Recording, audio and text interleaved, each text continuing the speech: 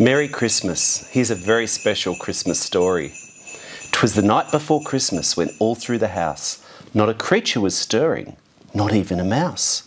The stockings were hung by the chimney with care, in the hope that St. Nicholas would soon be there. When out of the driveway there arose such a clatter, I sprang from my bed to see what was the matter. It was the Prime Minister who met my inquiry, running away all packed for Hawaii. The children were awoken and raced to the door and joined me and saw the PM strung out on the floor.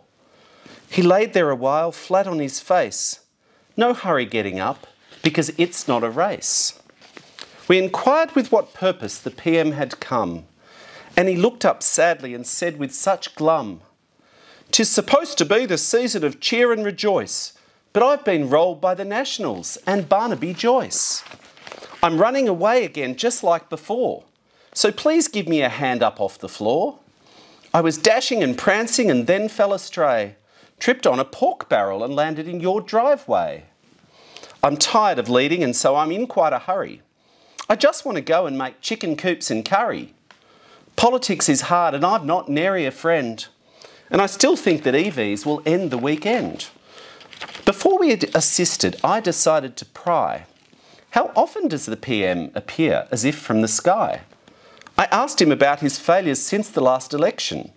He winked and replied, I don't accept the premise of your question. But what about climate change? Aren't you a bit late? He smirked and said, I don't hold a hose, mate. We promised net zero after Barnaby said yes, and our modelling gets us within the margin of error, more or less. What about vaccines? You said it wasn't a competition. And we were stuck for so long in that awful position. Don't you worry, said the PM, it's all going to plan. We always intended to be as slow as Tajikistan. I asked of his spending and when he'd complete the car park he promised at the end of our street. Well, it's not looking good, I'm afraid to say. That project was announced right on election day. He pulled out his big billion dollar spreadsheet colour coded by target seat, all nice and neat. With delays and costs and all in between, we'll look to break soil in late 2013. You said you'd bring stranded Aussies home, but alas, they're still stuck waiting from last Christmas. He ummed and ahed, oh, I thought you'd forget, but there just wasn't enough room on my big private jet. I asked about wages and all the lost jobs.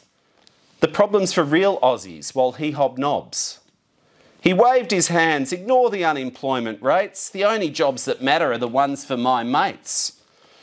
Growing frustrated, I just asked him straight, why do you always do too little too late? It's become quite clear that you lie all day, and now we can't believe anything you say. Mr Morrison said, enough is enough. I'm far too sad. Macron called me a liar and he's really quite mad. I was stuck at COP26 all on my own. Maybe I shouldn't have screwed him over the phone. The trip was very hard and not to my liking. There wasn't nearly enough time for a beer or to go hiking. What do you expect me to do, my job and all that? It's tiring to backflip all day like an acrobat. I said, it's been a hard time and Aussies are doing it tough. And so after eight tired long years, we finally had enough. I know how much you're fond of a cliche. If you have a go, you get a go, you often say. Well, you've had a go and we've had enough. So bring on election day. He sprang to his feet and left with a huff, blaming the premiers and other such fluff, dragging his sack of coal with all of his might. He rounded the corner and out of my sight. And so, with joy and elation and verses quite satirical, we celebrated his departure. We did all believe in miracles. For now was the time to bring cheer and adore with Christmas cards from the BS Report Store. It's been a tough year, but there's much to celebrate, and I hope some joy was brought by this story I narrate. Next year, we'll get a chance to fight the good fight. But for now, Merry Christmas and to all a good night.